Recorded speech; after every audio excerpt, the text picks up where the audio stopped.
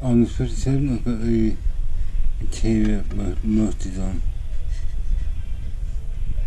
Dashboard, steering wheel common. Most, mostly mul- multi.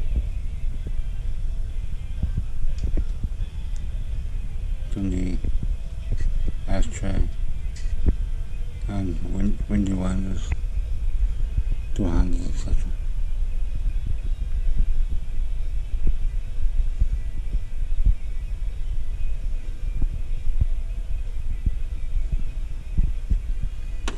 Also got the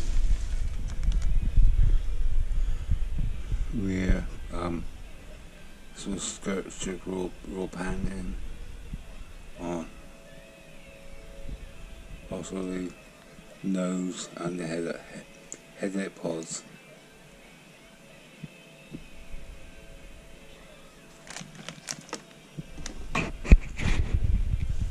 Very, very, very.